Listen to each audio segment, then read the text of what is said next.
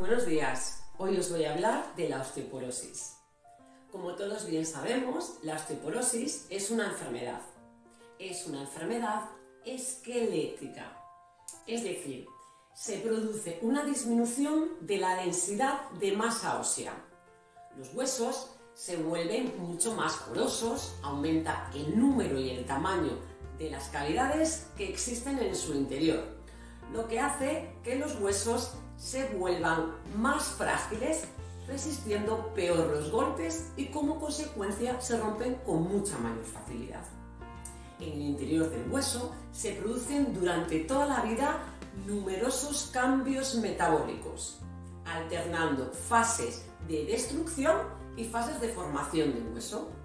Estas fases están reguladas por distintas hormonas, por la actividad física, la dieta, los hábitos tóxicos y la vitamina D. En condiciones normales, una persona alcanza a los 30-35 años una cantidad máxima de masa ósea. A partir de ese momento existe una pérdida natural de dicha masa. Nosotras, las mujeres, somos mucho más propensas a la osteoporosis por diferentes motivos ya que nuestro pico de masa ósea suele ser inferior al del hombre. Y con la menopausia se acelera la pérdida de hueso. Existen muchas otras causas por las que puede haber osteoporosis. Por ejemplo, el alcoholismo, los fármacos, los tratamientos hormonales, enfermedades reumáticas, endocrinas, hepáticas, etc. La osteoporosis se denomina epidemia silenciosa porque no manifiesta síntomas hasta que la pérdida de hueso es tan importante como para que aparezcan fracturas. Las fracturas más frecuentes son las vertebrales, las de la cadera y las de la muñeca. Aunque la osteoporosis sea una enfermedad silenciosa, actualmente los reumatólogos pues, cuentan con un gran abanico de herramientas para su diagnóstico precoz y así adaptar el tratamiento bien para prevenir la pérdida de masa ósea o para combatirla.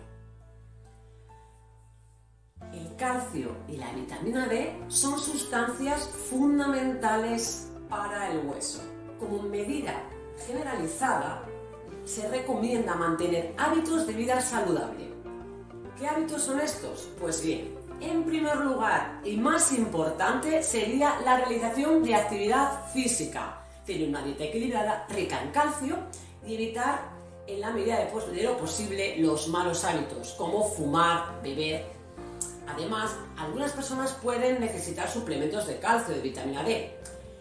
Pero fijaros, de poco nos sirve ingerir esos eh, suplementos si yo después voy a quedarme sentada en el sofá es decir, para que yo sintetice esos suplementos, tanto de calcio como de vitamina D, necesitaremos hacer eh, actividad física. Porque de lo contrario, lo único que haremos es eliminarlos por la orina. Entonces, es muy, muy importante que si yo tomo suplementos de calcio, automáticamente haga ejercicio, lo combine con ejercicio físico, para que se fijen esos huesos. Mi nombre es Erika y soy educadora deportiva. Y hoy os voy a proponer una serie de ejercicios muy indicados para prevenir y para combatir la osteoporosis. Vamos a comenzar con estos ejercicios. Ejercicio número 1. Este ejercicio lo haremos sentados en una silla con la espalda recta, con las piernas a lo ancho de las caderas y las manos apoyadas sobre nuestras piernas.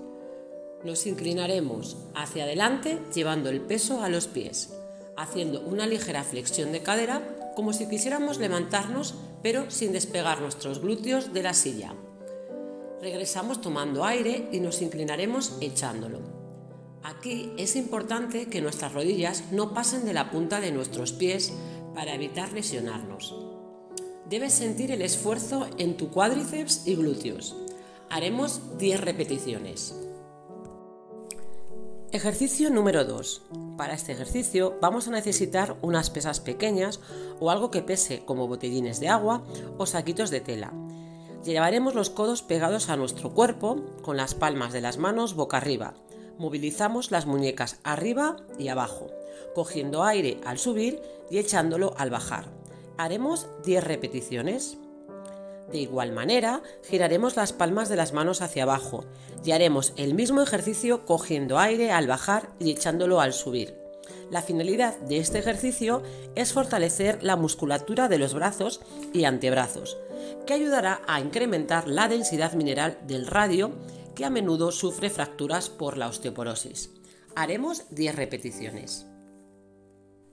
Ejercicio número 3. En este ejercicio nos colocaremos de pie enfrente de la pared con las piernas a lo ancho de las caderas y las manos apoyadas en la pared con brazos a lo ancho de los hombros. Cogemos aire y al exhalar flexionaremos nuestros codos para tratar de acercar nuestro pecho a la pared. Inhalamos y estiramos. Haremos 10 repeticiones. Recuerda que los codos tienen que ir hacia afuera y al bajar tratar de juntar lentamente tus escápulas. En este ejercicio prevenimos aumentar la cifosis dorsal. También se puede realizar con ligeros impactos elevando las manos de la pared. Haremos 10 repeticiones. Ejercicio número 4. De pie nos pondremos de puntillas y dejaremos caer los talones haciendo un ligero impacto contra ellos. Este tipo de ejercicios trabaja directamente sobre los huesos de las piernas, caderas y la parte baja de la columna vertebral para retrasar la pérdida de minerales. Haremos 10 repeticiones.